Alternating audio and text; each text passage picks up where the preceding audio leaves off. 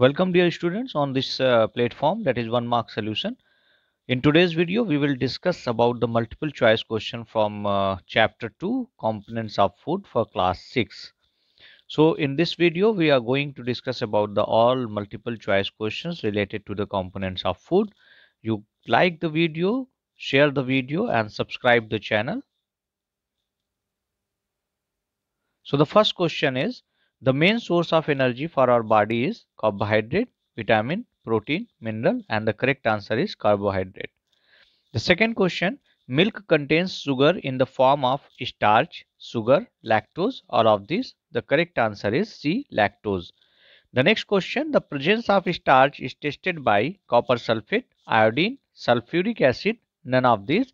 The correct answer is iodine. Proteins are present in bones, blood, flesh, all of these. The correct answer, all of these. Protein requirement is more for a labor, laborer, dancer, pregnant woman, architect. The correct answer is pregnant woman. Which food item has a high percentage of fat? Fish, rice, egg, ghee. The correct answer is ghee.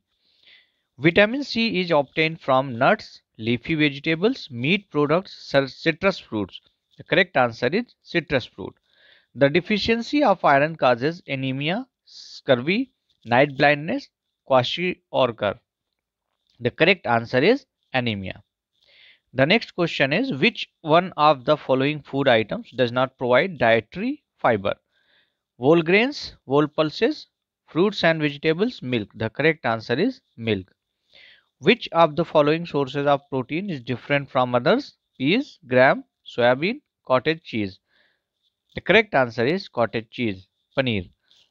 Next question. Which of the following nutrients is not present in milk?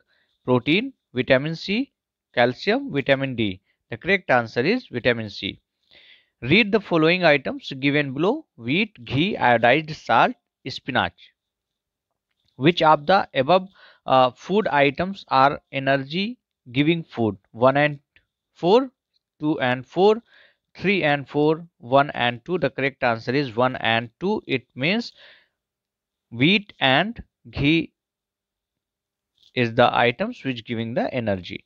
Next read the following statements about disease. They are caused by germs. They are caused due to lack of nutrients in our diet. They can be passed on from one person to another person through contact. They can be prevented by taking a balanced diet. Which pair of the statement best describe a deficiency disease? Options 1 and 2, statement 2 and 3, statement 2 and 4 and statement 1 and 3. So the correct answer is statement 2 and 4. Statement 2 they are caused due to lack of nutrients in our diet and statement 4 they can be prevented by taking a balanced diet. Next question, given below are the steps to test the presence of protein in a food item.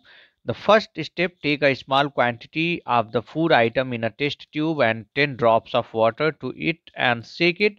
Make a paste of powder of food to be tested. Add 10 drops of caustic soda solution to the test tube and shake well and add 2 drops of copper sulfate solution to it which of the following is the correct sequence of steps? So the correct sequence of step as it is in the question 1 2 3 and 4 the next question which of the following item does not provide any nutrients? Milk water orange juice tomato juice. So the correct answer is milk. If you like this uh, video share this video with your friends and don't forget to subscribe the channel